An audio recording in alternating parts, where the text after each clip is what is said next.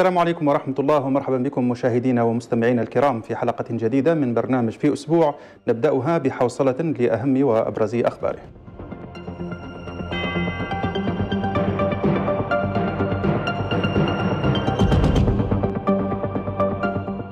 ونبدأ من الجمعة الماضية حيث شهدت محاور القتال في قطاع غزة اشتباكات عنيفة بين المقاومة الفلسطينية وجيش الاحتلال الصهيوني بعد فشل الوصول إلى اتفاق لتمديد الهدنة. وقال الإعلام العسكري لكتائب الشهيد عز الدين القسام إن المقاومة خاضت اشتباكات ضارية مع جيش الاحتلال كبدته خلالها خسائر فادحة في الأرواح والمعدات وكشف الإعلام العسكري لكتائب القسام عن قصف تل أبيب وعدد من المدن والمستوطنات المحتلة برشقات صاروخية مكثفة.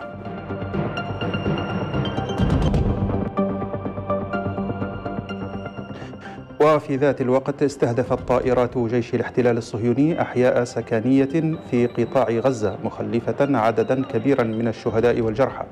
وقالت وزارة الصحة الفلسطينية في غزة إن مستشفيات القطاع تعاني نقصا حادا في المواد والمعدات الطبية اللازمة للتعامل مع العدد الكبير من الجرحى إلى جانب خروج عدد من المستشفيات والمراكز الصحية عن الخدمة بسبب الأعمال العدائية التي يقوم بها جيش الاحتلال.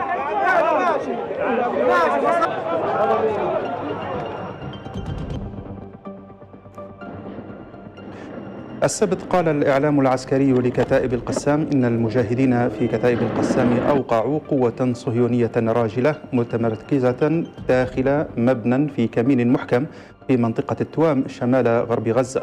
حيث استهدفوا القوة بالعبوات المضادة والقذائف المضادة للتحصينات والرشاشات الثقيلة مؤكدا إيقاع أفراد القوة الصهيونية بين قتيل وجريح.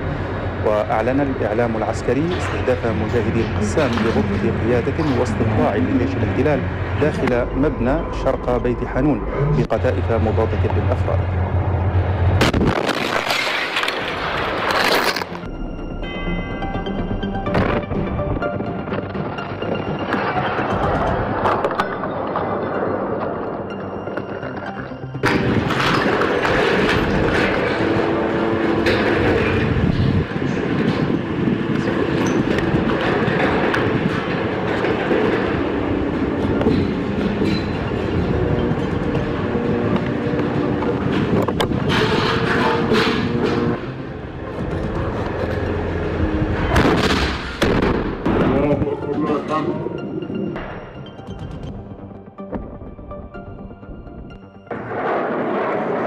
وفي يوم السبت أيضا وجهت كتائب الشهيد عز الدين القسام ضربات صاروخية مكثفة باتجاه تل أبيب وعدد من المدن والقرى في الأراضي الفلسطينية المحتلة. ونشر الإعلام العسكري مشاهد للرشقات الصاروخية مؤكدا أنها رد واضح على المجازر التي يرتكبها الاحتلال بحق المدنيين في غزة.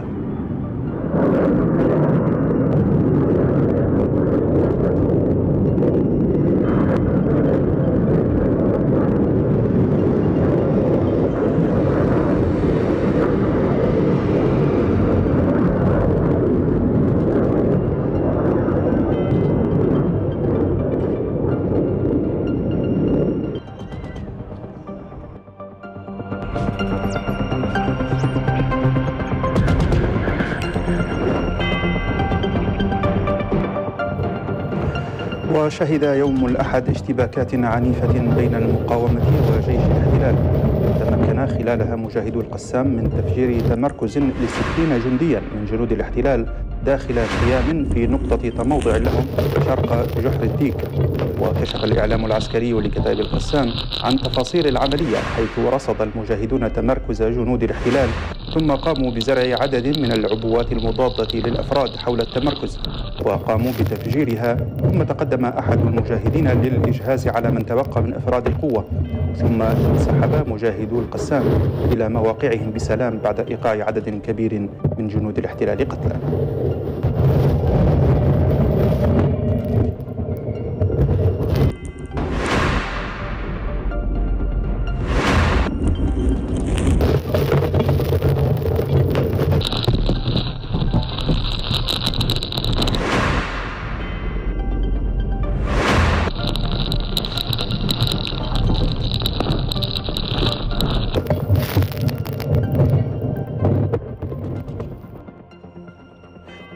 الأحد أيضا تمكن مجاهدو القسام من تفجير حقل ألغام في قوة صهيونية راجلة مكونة من ثمانية جنود شمال شرق مدينة خان يونس. وقال الإعلام العسكري للقسام إن مجاهدي القسام قاموا بالإجهاز على من بقي من جنود الاحتلال على قيد الحياة من مسافة صفر.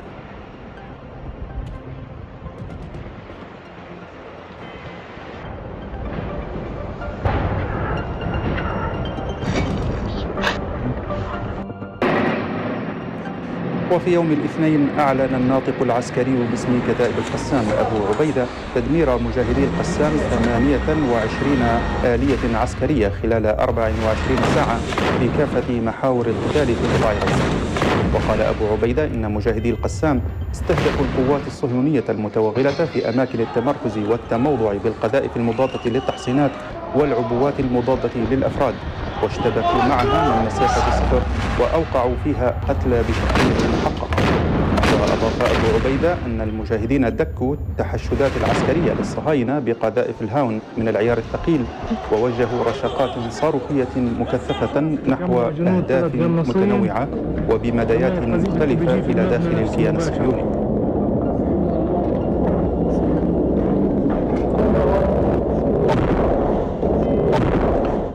الثلاثاء خاض مجاهدو القسام اشتباكات عنيفة مع قوات الاحتلال في جميع محاور التوغل في قطاع غزة. وقال الإعلام العسكري للقسام إنهم أحصوا يوم الثلاثاء فقط تدمير 24 آلية عسكرية كليا أو جزئيا فقط في محاور القتال بمدينة خان يونس واستهدفوا 18 جنديا بالهجوم المباشر. وكشف الإعلام العسكري عن استهداف قناصة القسام لثمانية جنود وإيقاعهم بين قتيل وجريح مضيفا أن المجاهدين نسفوا منزلا تحصنت به قوة خاصة لجيش الاحتلال وأوقعوا قوة أخرى في حقل ألغام أعد مسبقا ودكوا التحشدات العسكرية بمنظومة رجوم قصيرة المدى ووجهوا رشقات صاروخية مكثفة نحو أهداف متنوعة وبمدايات مختلفة إلى الأراضي المحتلة.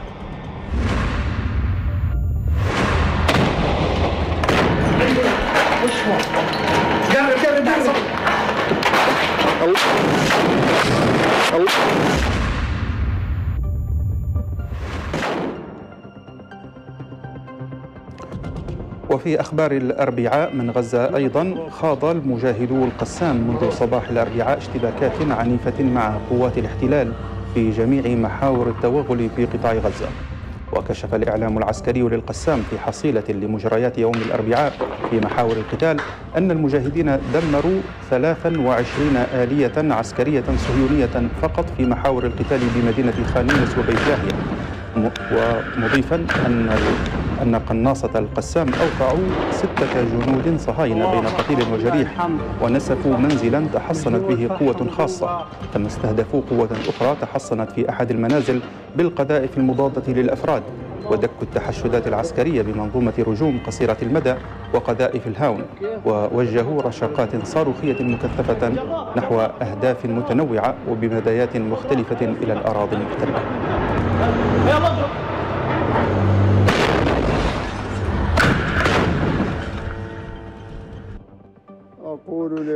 دعا فضيلة مفتي عام ليبيا الشيخ الصادق الغرياني أهل غزة والمقاومة الفلسطينية إلى الصبر والثبات في مواجهة الاحتلال الصهيوني وأن يثقوا بنصر الله تعالى الذي قال إنه آت لا شك فيه كما بشرت الكثير من آيات القرآن العظيم. لأن آيات القرآن الكثيرة تبشركم بهذا النصر وتذكركم وتذكركم به. يقول الله تبارك وتعالى إنا لننصر رسلنا والذين آمنوا في الحياة الدنيا ويوم يقوم الأشهاد. ويقول تبارك وتعالى كتب الله لأغلبن أنا ورسلي إن الله قوي عزيز. ويقول تبارك وتعالى وإن جندنا لهم الغالبون. ويقول تبارك وتعالى سيهزم الجمع ويولون الدبر. ولو قاتلكم الذين كفروا لولوا الأدبار ثم لا يجدون وليا ولا نصيرا. لن يضروكم إلا أذى. وإن يقاتلوكم يولوكم الأدبار ثم لا ينصرون. الذين آمنوا يقاتلون في سبيل الله والذين كفروا يقاتلون في سبيل الطاغوت. فقاتلوا أولياء الشيطان إن كيد الشيطان كان ضعيفا. حكم الله عليهم بالضعف. حكم الله أن كيدهم ضعيف وأنهم سيهزمون. الضعيف سيهزم لا محالة. أقول لأهل غزة وللمقاومة وجدد فضيلة المفتي من على شاشة التناصح في برنامج الإسلام والحياة الأربعاء. جدد مناشدته لحكام العرب بفك الحصار عن غزة وإدخال المساعدات والسلاح إليها محذرا إياهم من عواقب خذلانهم لإخوانهم المسلمين في غزة. ثم أقول لحكام العرب والمسلمين الذين لا يزالون يتفرجون عن إخوانهم يقتلون ويقطعون لا زالوا ينظرون إلى استغاثات ويسمعون استغاثات أطفال أهل غزة ونسائهم وشيوخهم ثم لا يزالون ينظرون إليهم لا يزالون يصمتون ولا يتكلمون. لا يزالون يطيعون أعداءهم ويخذلون أولياءهم ويخذوا المؤمنين. أقول لهم والله يا ويلكم يا حكام العرب ويا حكام المسلمين يا ويلكم من يوم أن توضعوا في قبوركم بماذا تجيبون؟ الجبار الذي ينزل بكم ما تستحقونه من هذا الولاء للكافرين. اسمعوا إلى قول الله تبارك وتعالى في الذين يطيعون أعداءهم ويخذلون أولياءهم ويخذلون المؤمنين. يا أيها الذين آمنوا إن تطيعوا الذين كفروا يردوكم على أعقابكم فتنقلبوا خاسرين. بل الله مولاكم وهو خير الناصرين هو مولاكم وليس البيت الأبيض والأمريكان والإنجليز.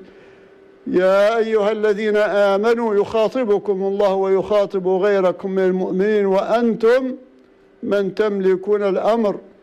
يقول الله تبارك وتعالى يا أيها الذين آمنوا إن تطيعوا فريقا من الذين أوتوا الكتاب يردوكم بعد إيمانكم كافرين. وكيف تكفرون وأنتم تتلى عليكم آيات الله وفيكم رسوله؟ ومن يعتصم بالله فقد هدي إلى صراط مستقيم. لابد أن تكون فيكم نخوة لابد أن تكون فيكم رجولة لابد أن يكون فيكم إيمان أن تنتفضوا فكوا الحصار على غزة.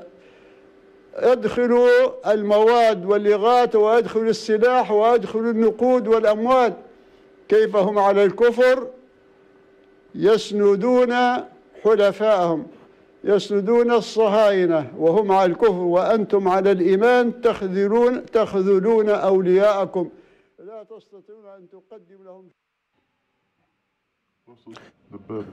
الخميس أعلن الإعلام العسكري لكتائب القسام تمكن مجاهدي القسام خلال 72 ساعة الأخيرة من تدمير 135 آلية عسكرية صهيونية في كافة محاور القتال في قطاع غزة. وقال الإعلام العسكري للقسام إن مجاهدي القسام أوقعوا عشرات الجنود الصهاينة بين قتيل وجريح إثر تفجير عدد من المنازل وفتحات الأنفاق في جنود العدو بعد تفخيخها. كما جرى استهداف القوات الصهيونية المتوغلة في أماكن التمركز والتموضع بالقذائف المضادة للتحصينات والقذائف والعبوات المضادة للأفراد واشتبكوا معهم من مسافة صفر. كما دكوا التحشدات العسكرية بقذائف الهاون والصواريخ ووجهوا رشقات صاروخية مكثفة نحو أهداف متنوعة وبمدايات مختلفة إلى داخل الكيان الصهيوني.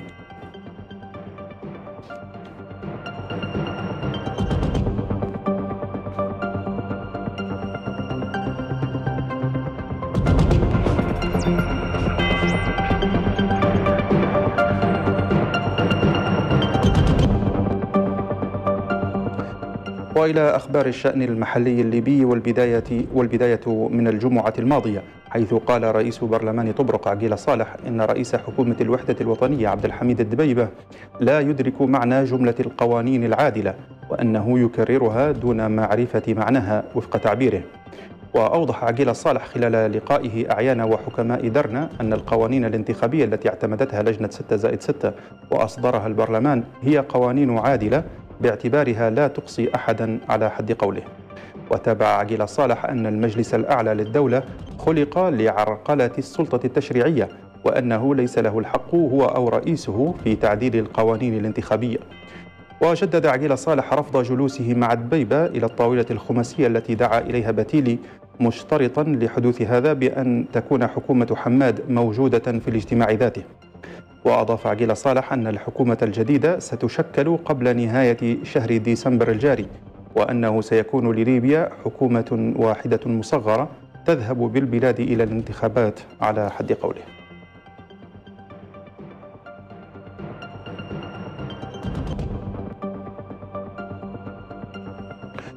الأحد قال رئيس حكومة الوحدة الوطنية عبد الحميد الدبيبة إن هدف الجميع يجب أن يكون إجراء انتخابات وإصدار دستور دائم للبلاد لضمان استقرارها.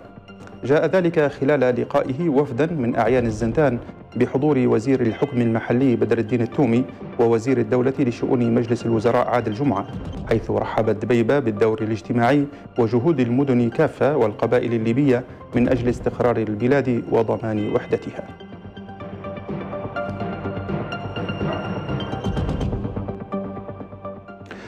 جدد رئيس حكومة الوحدة الوطنية عبد الحميد الدبيبة ترحيبه بمبادرة المبعوث الأممي عبد الله باتيلي وأعلن الدبيبة في اجتماع مجلس الوزراء يوم الثلاثاء أربعة شروط وصفها بالأساسية لنجاح الطاولة الخماسية التي دعا إليها المبعوث الأممي.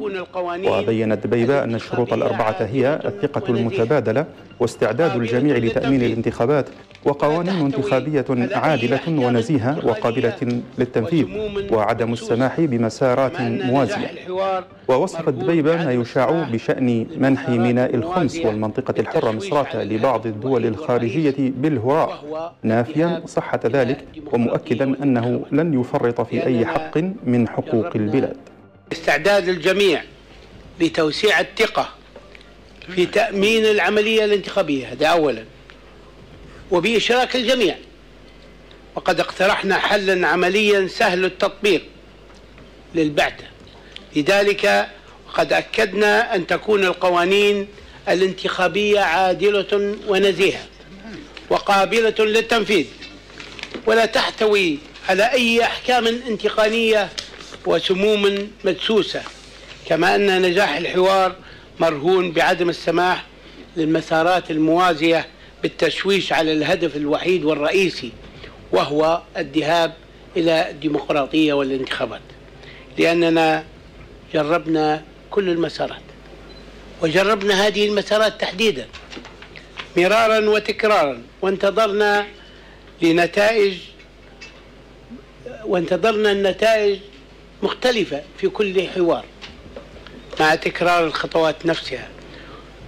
هذه الخطوات هي مضيعة للوقت فعلا مضيعة للوقت ولا نريد تكرارها وأنا على عهدي بعون الله مع أبناء هذا الشعب بأن أكون لهم صوتا صادحا مشاركا لهم بكل تفاصيل هذه الحوارات لأن عهد الغرف المظلمة وتقرير مصير الشعب دون علمه قد ولى وانتهى ورغبة الشعب قد أكدها أكثر من مليوني ونصف مليون ناخب.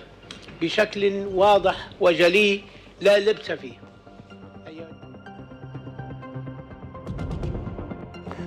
كشف مصرف ليبيا المركزي عن تجاوز الإيرادات العامة للدولة 110 مليارات دينار.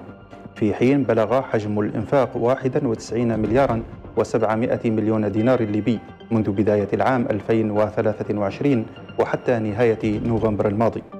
وفي تقرير أصدره الثلاثاء قال المصرف المركزي إن الإيرادات النفطية خلال الفترة من يناير حتى نوفمبر من العام الجاري بلغت 85 مليارا و900 مليون دينار إلى جانب إتاوات نفطية بقيمة 10 مليارات و900 مليون دينار مشيرا إلى تحقيق ضرائب إيرادات بقيمة ملياري دينار إلى جانب 290 مليون دينار كإيرادات للجمارك. وعن إجمالي الإنفاق الذي بلغ 91 مليارا و700 مليون ذكر المركزي أن مصروفات الباب الأول وهو باب المرتبات بلغت 49 مليارا و400 مليون دينار.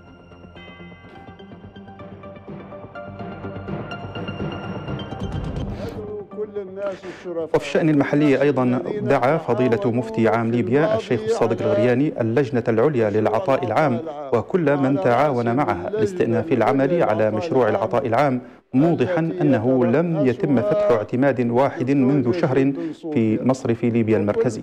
أدعو كل الناس الشرفاء وكل الناس الذين تعاونوا في الماضي على مشروع العطاء العام وعلى رأسهم اللجنة العليا للعطاء العام التي يترأسها الدكتور نجيب بن صوفيا. وكل من تعاون معه في مكتب النائب العام وفي آه، ديوان المحاسبة وفي مكتب الأمن الداخلي وفي مكتب رئيس الحكومة وفي كل الأماكن الذين تعاونوا معه في الماضي أقول لهم عليكم أن تهبوا من جديد فإن المافيا أيضا رفعت قرونها من جديد ووضعت العراقيل. والآن أقول لكم بالتاريخ منذ تاريخ 6/11 لما اجتمعت هذه اللجنة وبعض المسؤولين مع رئيس الحكومة في مجلس الوزراء وتكلموا عن العطاء العام ورئيس الحكومة دعمه بقوة وأعطى صلاحية للجنة وكذا.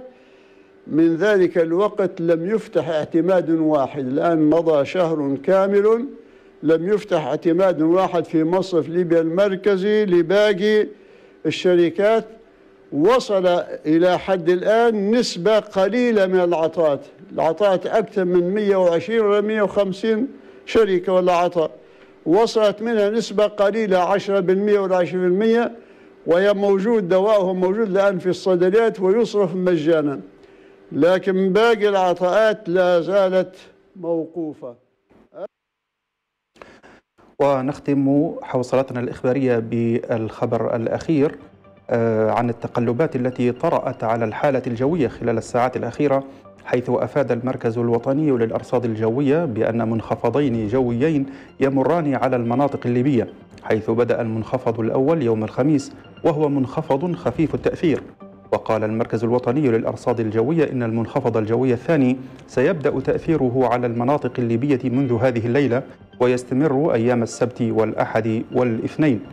وقال مركز الأرصاد الجوية إن المنخفض سيؤدي إلى هطول أمطار من جيدة إلى شديدة الغزارة على مناطق مختلفة من ليبيا حيث ستكون غزيرة في مناطق الشمال الغربي والشرقي محذرا من جريان بعض الأودية في المنطقة مضيفا أن تأثيره سيطال حتى مناطق الجنوب الليبي حيث من المتوقع هطول الأمطار في بعض مناطق الجنوب بالإضافة إلى انخفاض درجات الحرارة في كل الجنوب الليبي.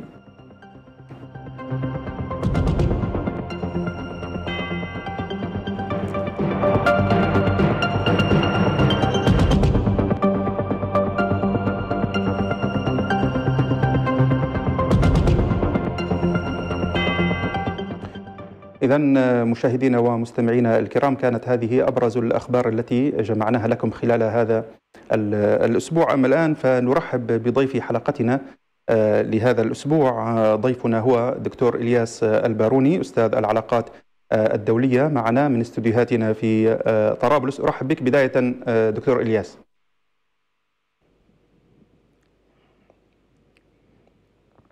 مرحبا أخي أخي عبد الرحمن وأيضا مصاحبي آه، قناة التناصح. آه، دكتور إلياس لو بدأنا بالشأن الفلسطيني والأوضاع آه، في قطاع غزة تحديدا بعد مضي شهرين الآن على بدء العدوان على غزة وأكثر من 17 ألف شهيد أغلبهم نساء وأطفال كيف تتابع يعني تطورات هذا العدوان على قطاع؟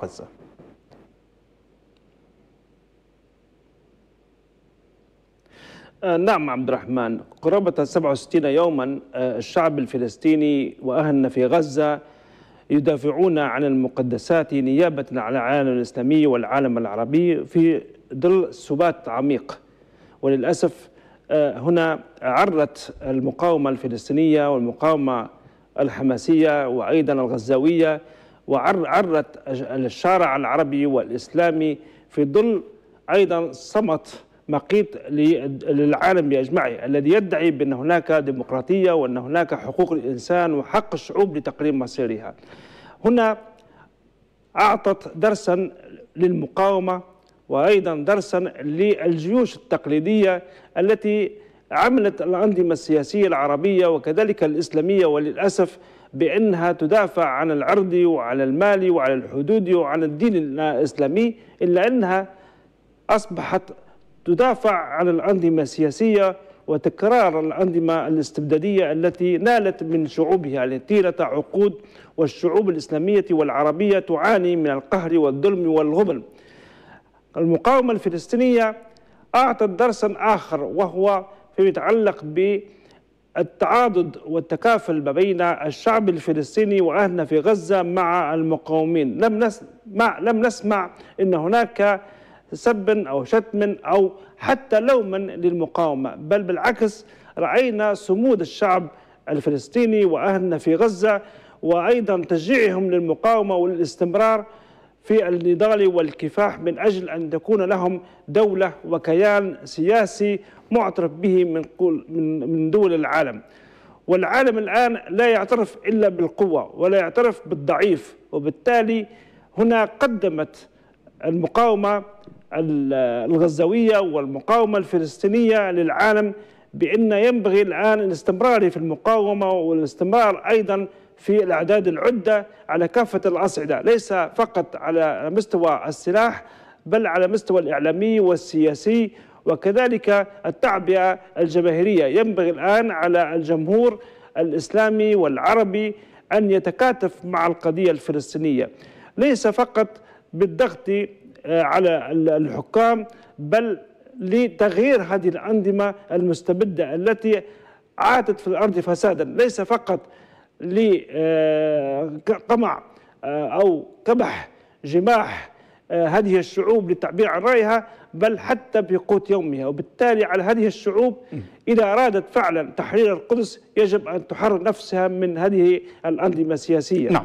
الاستبدادية. طيب آه، على ذكر المقاومة دكتور إلياس الباروني اليوم يعني بعد أكثر من 61 يوما من القصف العنيف على قطاع غزة وبعد أسابيع عديدة من الاجتياح البري لا زالت المقاومة الفلسطينية في غزة تضرب العمق عمق الأراضي المحتلة بالصواريخ وعلى الأرض تدمر عشرات الآليات يعني يوميا في قطاع غزة.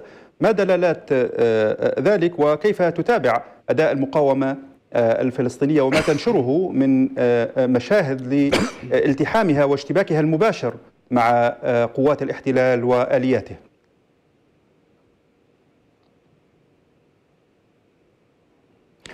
نعم رأينا آه، ماذا شجاعة وصمود المقاومة وأيضا آه، رأوا أيضا وأعطوا فكرة على ما يسمى بالتنظيم الإرهابي الصهيوني بأنه يملك من المقدرات والإمكانيات العسكرية وما يسمى بالقبة آه، التي تحمي دفاعاتهم وأيضا أسلحتهم. ولكن بمسافة الصفر أعطت درسا في كيفية هذه المقاومة أن تقضي على دبابات ودبابة التي تصل آه، سعرها إلى 8 مليون دولار. في مقابل قذيفة آر بي جي تقوم بتفجير هذه الآليات. أصبحت ليس بالدبابة أو اثنين بل بالعشرات من هذه العربات المجنزرة التي لها إمكانيات ضخمة من الرصد ومن كشف آه، العدو باتت أمام يد المقاومة في في أضعف آه، آه، قدراتها. وهذا يعطي إشارة بأن المقاومة متوكلة على الله سبحانه وتعالى وأيضا لها إرادة بأن ينبغي على القضية الفلسطينية أن تعلو وأن تتجدد وأن لا يرفع صوت الآن ما يسمى بالسلام الزائف مع العدو الصهيوني. وكذلك أيضا السلام المزيف من قبل الدول الكبرى. رأيتم الآن أمريكا أوروبا مجتمعة آه، تعمل على آه، إسقاط القيم الآن التي تدعي بأنها زعيمة العالم الحر وبانها مع حقوق الإنسان ومع آه، الحريات.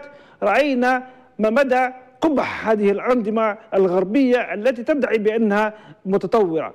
وهذا بطبيعة الحال فرصة سانحة للمقاومة إنها عرمت وعلمت وأيضا عرفت العالم حتى الشعوب تلك الشعوب الأوروبية علمت وعرفت حقيقه انظمتها السياسية التي تدعي بأنها قمة التطور الإنساني وحقوق الإنسان وغيرها من المفاهيم نعم. التي كانت عبارة عن شعارات فحسب وبالتالي هنا ينبغي حتى على الشعوب العربية الآن أن تعي جيدا بأن المقاومة هو والقوة هي التي ترد الحقوق وليس ما يسمى بالسلام الزائف والضعيف وأنك في موقف الضعيف وبالتالي ينبغي أن تكون يدك هي العليا نعم. حتى يحترمك الآخر نعم آه على ذكر الدول الغربية والولايات المتحدة الأمريكية يعني آه تحديدا دكتور إلياس آه الولايات المتحدة آه اليوم بحسب الأخبار آه تمهل الاحتلال آه الصهيوني حتى نهاية هذا الشهر نهاية شهر ديسمبر الجاري من أجل إتمام آه، أهدافه في آه، قطاع غزة آه، وإتمام أهدافه من هذه الحرب كيف ترصد تطور الموقف الأمريكي تحديدا والمواقف الدولية عموما من هذا العدوان المتواصل على قطاع غزة؟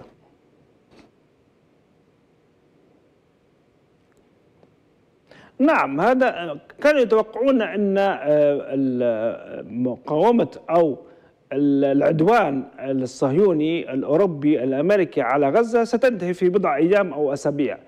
ولكن الأمر تغير وأيضا في نفس الوقت أيضا المعطيات الآن الحاصلة على الأرض وأيضا الخسائر المادية وكذلك الخسائر العسكرية وفي الأرواح هناك الألاف قد بترت أقدامهم وأيديهم وهناك أيضا الألاف من المعاقين أصبحوا من من ذوي الاحتياجات الخاصة وكذلك أيضا المليارات التي خسرت خسرتها آه، خسرها الكيان الصهيوني.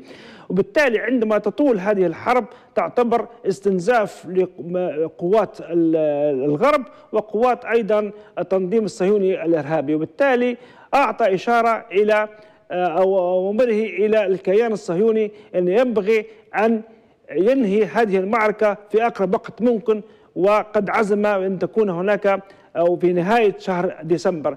وهذا يعتبر آه، إلى حد ما خروج آمن أو إلى حد ما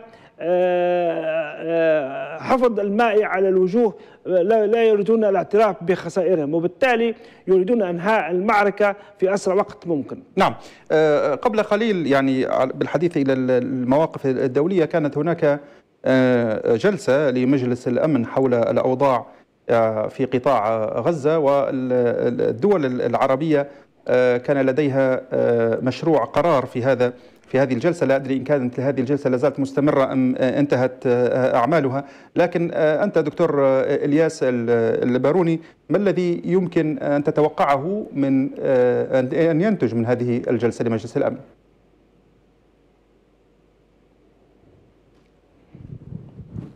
آه، للأسف يعني لا نتوقع السقف أن يكون عاليا من قبل ما يسمى بجامعة الدول العربية رأينا بعض الوزراء في هذه الدول العربية وخاصة حتى وزيرة الخارجية دولة الإمارات العربية وللأسف المتحدة آه، آه، تعانق الوزراء الصهاينة تعانقهم بالأحضان. وهذا شرف الحقيقة يعني لما يعني في قمة الشرف والفرصة الذهبية التي عانقتها الإمارات بالكيان الصهيوني. وأيضا آه، ضعف آه، النظام السياسي المصري. نعلم جيدا بأن دولة مصر هي عزوة الأمة العربية هي تعتبر قوة الأمة العربية وهي صمام أمان وأيضا البوابة الذي أمام العالم الإسلامي والعربي. ولكن للأسف النظام المصري يتمهى وأيضا لا زال راكنا إلى آه، ضعف التعامل مع الكيان الصهيوني. صحيح أن هناك صحوة شعبية وأيضا رأينا حتى السلطة القضائية المصرية في الحقيقة أعلنت صوتها عاليا بأن ينبغي أن يكون هناك نضال وكفاح وجهاد ضد العدو الصهيوني. ولكن لا زال النظام السياسي والنظام العسكري في في مصر لا زال خانعا إلى ما يسمى بالسلام مع الكيان آه، الصهيوني. إذا لا نتوقع من هذه الجامعة وخاصة أن الجامعة العربية أصبحت إدارة من إدارات وزارة الخارجية المصرية وليست جامعة مستقلة وذات رأي مستقل وبالتالي لا نتوقع منها رأي قوي. ماذا عن مجلس الأمن؟ في نفس الوقت أيضا ينبغي الآن على العالم الإسلامي وراء مجلس الأمن في الحقيقة آه، آه، الدول الخمس الكبرى هي التي تملك الحق حق النقد أو لا كلمة لا. أمريكا بريطانيا آه، فرنسا كلهم مع الكيان مع الكيان الصهيوني. صحيح فرنسا إلى حد ما تريد وقف الحرب وأيضا تنهي هذه الحرب ولكن مجرد شعارات لا أكثر ولا أقل وتريد أيضا فتح صفحة جديدة أو ما يسمى بفتح حوار مع العالم العرب العرب العربي والإسلامي على غرار آه، بريطانيا وأمريكا وألمانيا. آه، ألمانيا الآن في الحقيقة أيضا ليست عضوة في المجلس الأمن ولكن آه، خيبة أمال الدول العربية في الحقيقة في عهد أنجيلا ماركر كانت في الحقيقة ألمانيا السياسة الخارجية الألمانية راكنه ورصينه ورزينه وأيضا تعاملت مع القضية الفلسطينيه ومع العرب بقمة الرقي وأيضا التفاهم والحوار المتبادل. ولكن للأسف عندما تغير النظام السياسي الألماني اصبح أصبحت خاضعة إلى الضغط الصهيوني. وتعلمون جيدا بأن الإعلام الألماني 74% تقريبا في ملك شخص يهودي يملك و74% من الإعلام في ألمانيا. وبالتالي للأسف ألمانيا مثلها مثل أي دول أخرى وضع آه، رهينة في يد الصهاينة أو اللوبي الصهيوني المتواجد في كافة أنحاء العالم، اذا نحن لا نتوقع من مجلس الأمن أن يكون أو يصدر قرار واضح وصريح ضد العدوان وأيضا آه، حق تقرير المصير للشعب الفلسطيني أن يكون له كيان ويحيي أيضا الحوار السياسي العادل وليس مبنيا على الازدواجية وأيضا الخداع. نعم بالتالي دكتور إلياس الباروني ما الذي سوف يجبر الاحتلال الصهيوني من وجهة نظرك على إيقاف عدوانه على قطاع غزة والقبول بوقف إطلاق النار؟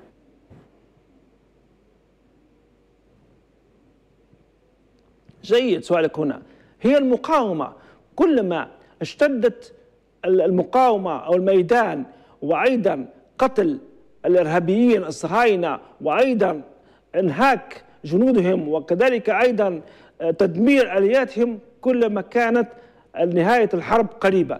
وهنا ينبغي الآن على المقاومة الفلسطينية أن تشتد الآن وخاصة نحن الآن في في وقت أيضا صعب على الكيان على الكيان الصهيوني وعلى آه، على التنظيم الإرهابي آه، الصهيوني الذي يقوم بقتل الاهلنا في غزة، اذا كلما اشتد الحرب أو اشتدت الحرب واشتدت المقاومة وكلما زادت الخسائر للكيان الصهيوني كلما تسارعت في إنهاء هذه الحرب.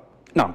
طيب آه، دكتور إلياس آه، لو انتقلنا إلى الشأن الداخلي الشأن الليبي آه، المحلي في هذا الأسبوع كان هناك تصريحات لرئيس برلمان طبرق عقيلة صالح هاجم فيها حكومة عبد الحميد الدبيبة وقال إن الدبيبة يكرر جملة القوانين العادلة دون أن يدرك معناها. وقال إن القوانين التي أصدرها برلمانه برلمان طبرق هي قوانين عادلة لأنها لا تقصي أحدا حسب تعبيره. كيف تنظر دكتور إلياس لهذه التصريحات؟ وهل فعلا القوانين التي أصدرها برلمان طبرق قوانين عادلة؟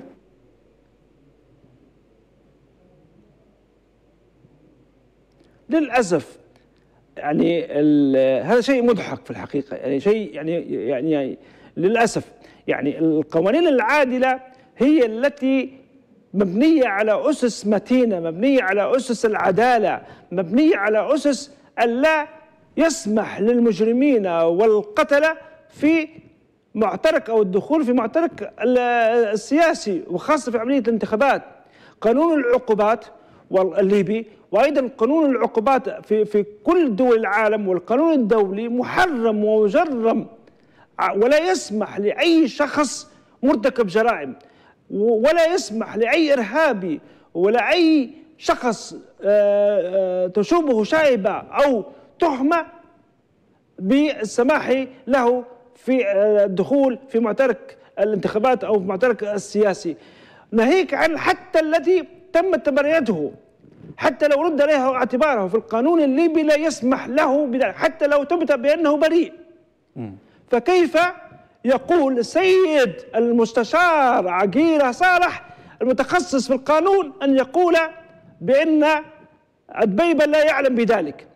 القوانين العادلة هي التي تحترم القوانين المحلية للدولة الليبية وتحترم أيضا أدمية الإنسان. وتحترم حتى فكر وعقلية هذا الإنسان الليبي الان كيف تسمح لحفتر وسيف القذافي للدخول الانتخابات وهو إرهابي ومجرم وقتل الليبيين؟ ومرفوعه له قضايا ليست قضايا حتى محلية قضايا دولية. وفي أمريكا بنفسها سيف القذافي الآن حكم عليه بالأعدام.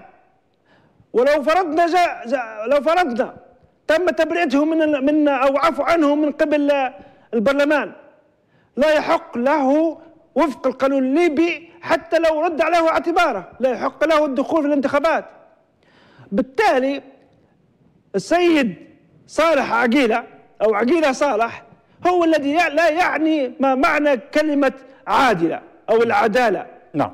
للأسف. وبالتالي ينبغي الآن على حكومة الوحدة الوطنية أن تكون فعلا تسارع في العمل على آه، تغيير القوانين.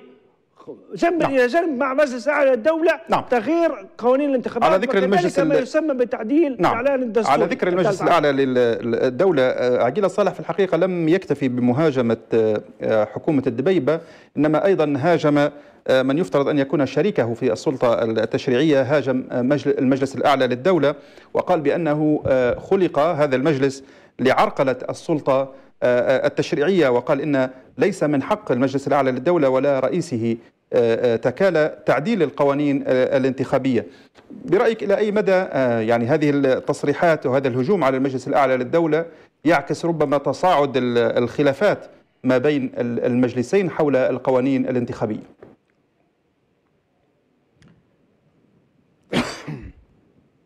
لا يمكن ولا يصح إصدار أي قوانين أو حتى قرارات من قبل مجلس النواب إلا بالتشاور والتوافق مع مجلس أعلى الدولة. هذا ما نصت عليه آه اتفاق الذي نجمت عنه ما يعرف بالبرلماني ومجلس الأعلى للدولة. وبالتالي على البرلمان أن يعي جيدا أن ينبغي أن يكون هناك تشاور.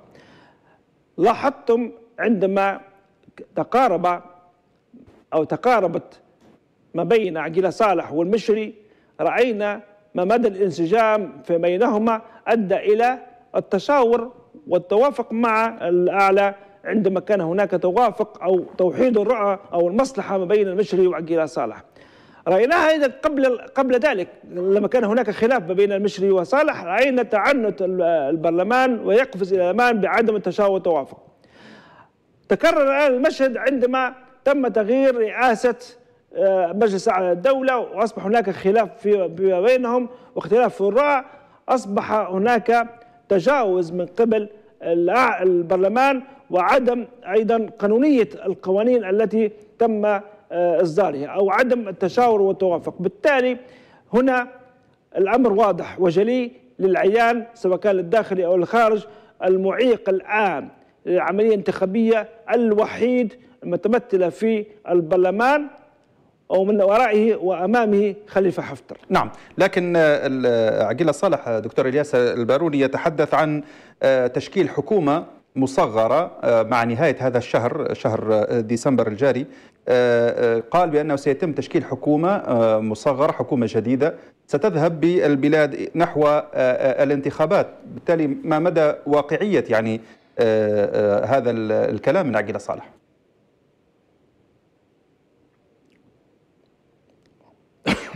هذا المشهد تكرر أثناء حكومة الوفاق الوطني حكومة السراج.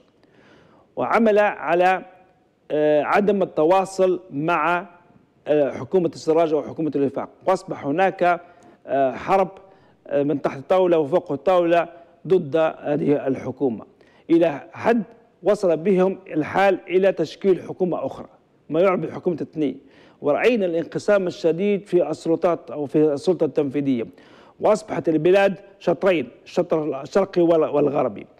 بعد ذلك عملوا على التسويق في الداخل والخارج على تشكيل حكومة أخرى. وقلنا في حينها نحن لسنا مع حكومة الوفاق حكومة الوفاق ضعيفة ولا تنتقي بمستوى الحدث. وأيضا اتفاق الصخيرات هو في الحقيقة آه، آه، اتفاق إدعان وخضوع إلى طلبات البرلمان وأيضا حفتر إلا أن لسنا في حينها لسنا مع تشكيل حكومة أخرى وقلنا ينبغي إنهاء هذه المراحل الانتقالية ويجب الذهاب فورا إلى الانتخابات سواء كان على مستوى السلطة التشريعية البرلمان أو على مستوى الرئاسي إلا أنهم أصروا على تشكيل حكومة أخرى. وجاءت حكومة اتفاق جنيف وتونس وشكلوا حكومة الوحدة الوطنية. لم يعطوا لها الثقة إلا إلا بالمراقبة وأيضا بالمشاكل. بعد ذلك عملوا على سحب الثقة وعدم الاعتماد الميزانية العامة وأصبح هناك أيضا حتى أصبح الحال إلى تشكيل حكومة أخرى ما يسمى بحكومة بشاغة نعم. بعد ذلك أيضا حكومة حماد إذا هؤلاء على رأسهم برلمان لا يريد فعلا الانتقال إلى الانتخابات بل يريد حكومة تخضع إلى وعلى فكرة هذه الحكومة يريدونها لمدة ثلاث سنوات هل يعقل؟ يعني هذه حكومة عادية هذه حكومة حكومة حكومة ثابتة. بالتالي يريدون حكومة تخضع للبرلمان تخضع إلى رغبات العقيلة صالح وأيضا آه، حفتر حتى يتم الاستيلاء عليها والانقلاب على السلطة آه، التنفيذية. وبالتالي هنا حكومة الوحدة الوطنية ينبغي الآن الاستمرار وأيضا آه، التسارع نحو تعديل القوانين بما يتمشى مع الإرادة الليبية ولا يتمشى مع نعم. شخصيات بعينها أو تعكس إرادة إقليمية ودولية تريد آه، إدخال ليبيا إلى مسار آخر يخدمهم وليس يخدم الشعب نعم. الليبي آه، دكتور إلياس الباروني آه، ضيفنا في هذه الحلقة من استديوهاتنا في طرابلس أستاذ العلاقات الدولية في ختام هذه الحلقة أشكرك جزيل الشكر على تواجدك معنا والشكر موصول إليكم مشاهدينا الكرام على كرام متابعتكم وإلى أن نلتقي بكم في لقاء آخر. دمتم في أمان الله وحفظه والسلام عليكم.